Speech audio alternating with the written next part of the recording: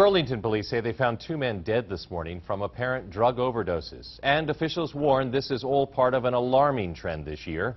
WPTZ's Hannah McDonald joins us live with the story tonight. Hannah. George, around 9 o'clock this morning, police got a call that there were two unresponsive men at this house on Ward Street. Police are saying they're pretty sure it was an overdose. That would be the city's 31st and 32nd this year. Less than a week after finding out Burlington hasn't gone more than 25 days without an overdose in a year, first responders discovered two men dead after possibly overdosing on heroin. You know, this is an instance that despite the best efforts of the investigators in concert with the neighborhood, um, we were unable to stem the tide of opiates going into the house. Two brothers Oh, overdose. Oh, They're Both both dead. gone. Neighbors in the Ward Street area of Burlington's Old North End were stunned to hear about the passing of Dennis and Sean Thibault.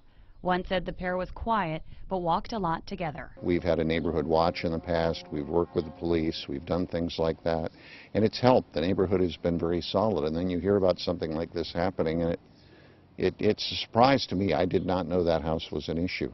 Police say that twice medics have visited the home in the past for overdoses.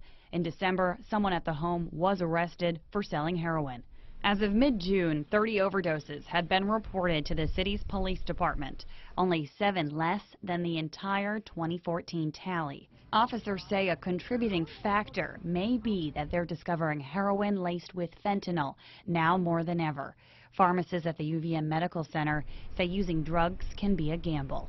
If a patient reports, you know, regular use of heroin and they didn't intend to overdose, um, and maybe they said, you know, I use what I normally use, but then, you know, this time an overdose happened, then you might suspect that there was something else in there that the, the patient didn't know about.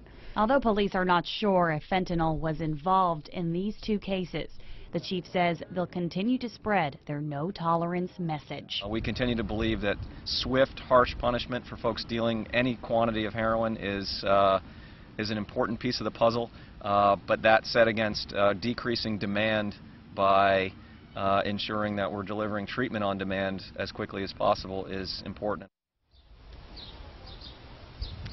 Just within the last two weeks, the hospital started giving out Narcan to emergency room patients who appear to want to quit using. Today, the mayor also released a statement saying we need to maintain a focus on opiate addiction.